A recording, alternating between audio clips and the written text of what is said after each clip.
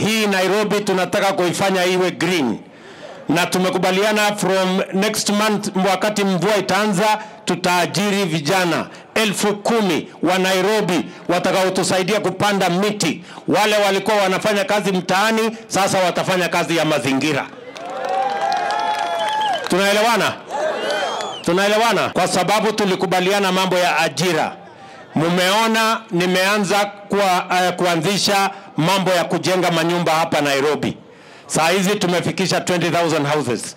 Nia yetu kabla ya mwisho mwa mwaka huu tutakuwa na nyumba elfu mia mbili zinajengwa Nairobi, na nyinyi mtafanya kazi kwa hizo mambo ya kujenzi wa manyumba wa Nairobi. Tunataka vijana elfu mia tatu wawe kazini kila siku katika siti yetu ya Nairobi